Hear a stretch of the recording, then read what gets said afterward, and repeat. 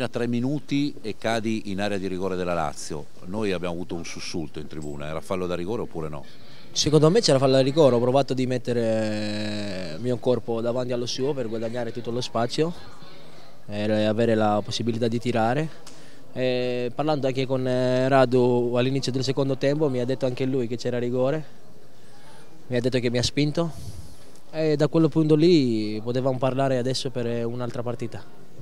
Sicuramente si poteva parlare eh, di un'altra partita, Massa che cosa ti ha detto? Perché lo so se ti hanno riferito, ma questo arbitro qui ha già fatto dei danni a Verona, sia in Serie C che in Serie B.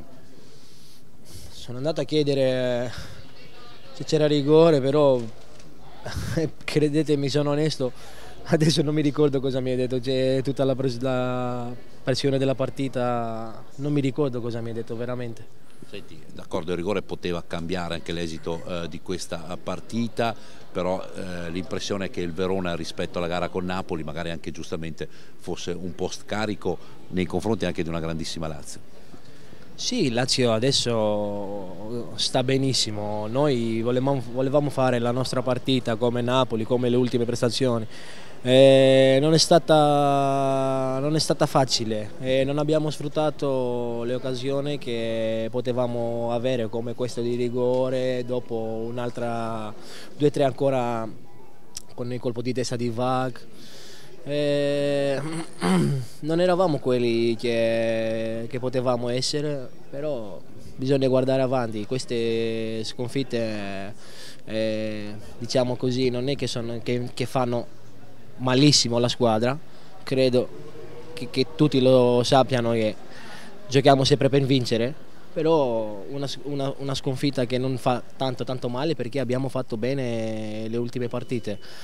Allora bisogna guardare avanti, c'è una partita dopo la sosta con eh, Cesena, un finale per noi, credo che saremo quelli che dobbiamo essere. Dopo aver giocato Come... con eh, Roma, Napoli e Lazio, a tuo avviso qual è la squadra favorita per il secondo posto? Eh, secondo me una... un posto per due squadre, Lazio-Roma. Vediamo se, se, Roma riesce a dimostrare quello che, quello che era al giro di, di Antata. Secondo me queste due squadre. Dove è mancato il Verona secondo te oggi, se è mancato in qualcosa?